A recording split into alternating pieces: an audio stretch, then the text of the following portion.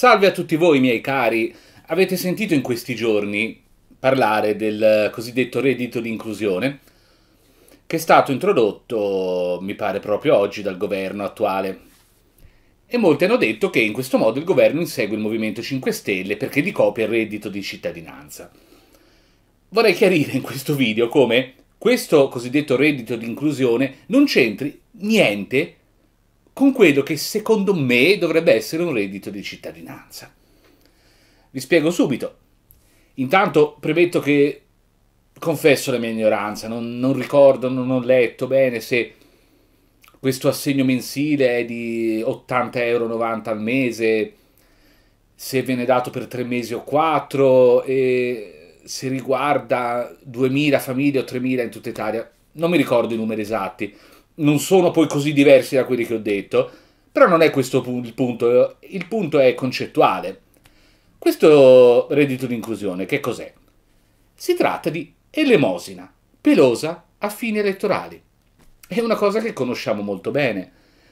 Non so, mi viene in mente la folla dei diseredati sotto il palazzo del potente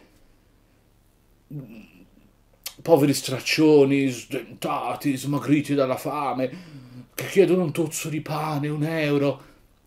E allora si affaccia il potente dal suo balcone, tutti osannando, oh, la prego ci aiuti, sua divinità. E quello, venga il lebroso laggiù con la sedia a rotelle, tieni 5 euro, e quello, grazie, ti bacio i piedi. Ecco, questo è una cosa che è sempre piaciuta molto a ogni governo, sia di destra che di sinistra ossia aiutare chi ha veramente bisogno. E chi lo decide che ha veramente bisogno lo decidiamo noi, noi che siamo al potere, perché questa è un'elemosina che noi non dovremmo fare, ma siccome siamo buoni e generosi, allora diamo un regalo a qualche poveraccio. Eh sì, e lui deve ringraziare, essere molto riconoscente.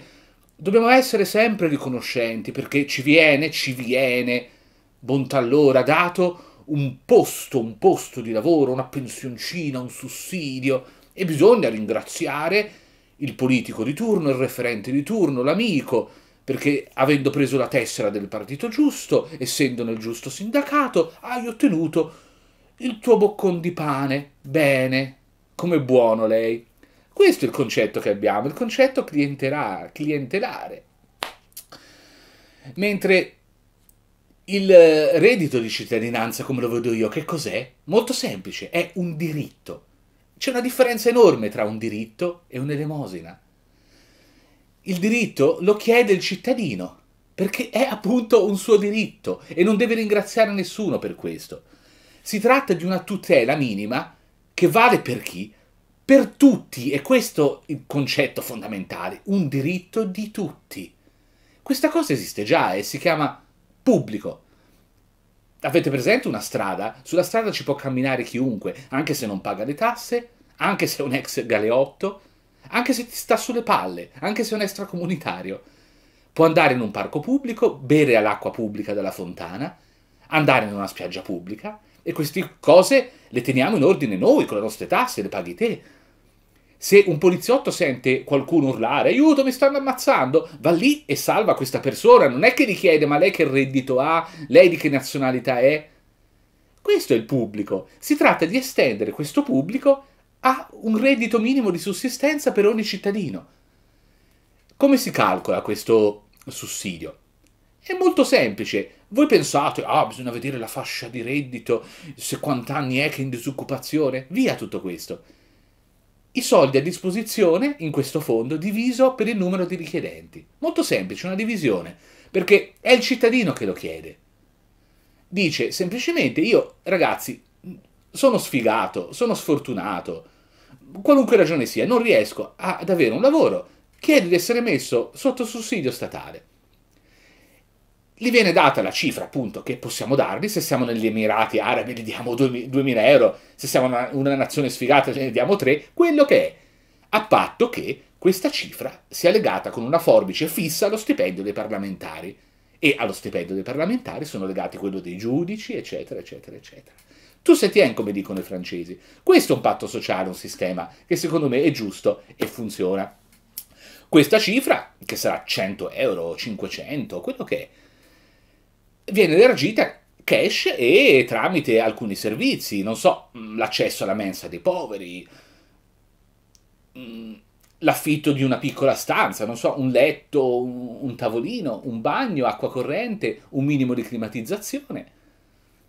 E basta, questo deve essere garantito a qualunque cittadino italiano. Non è difficile e chiaramente per avere questo, questo sussidio la persona deve chiederlo, chiaramente non deve avere un lavoro, non deve avere dei beni di proprietà, questo bisogna vedere, ci sono dei requisiti per accedere, non è che solo puoi chiederlo, chiaramente. Però deve essere garantito a tutti se rispetti i requisiti, questo è il concetto. E hai degli obblighi, perché è chiaro che devi essere disposto a fare qualunque lavoro, anche quelli che non vuole fare nessuno. Per esempio c'è un disastro, una calamità naturale, un terremoto, te domattina alle 6 del mattino prendi il pulmino e vai ad aiutare, Insomma, cost- si costituisce un certo numero di persone, quante saranno? 10 milioni, di risorse umane che hanno la loro dignità, la loro sussistenza e sono pronte a lavorare.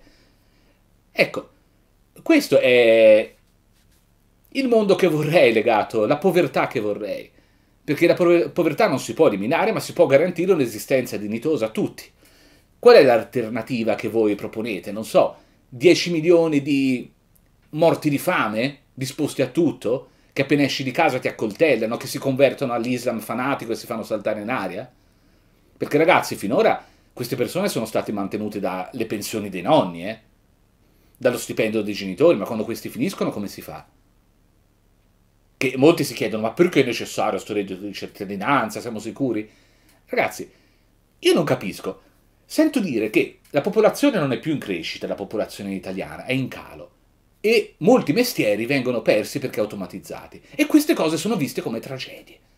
Ma cosa c'è di male se siamo meno persone? Meglio. Bisogna chiamare le stracomunitarie per colmare i vuoti. Ma cosa? Eh, se, se inventano i camion che guidano da soli, i camionisti cosa faranno?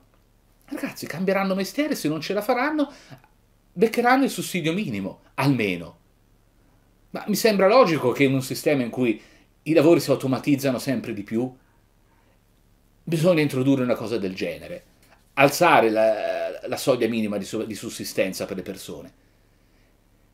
E questo con i soldi che ci sanno su base assicurativa. Io non capisco. Pagate 1000 euro l'anno l'assicurazione auto, magari senza mai avere un, un, incidente, quindi senza averne nessun beneficio.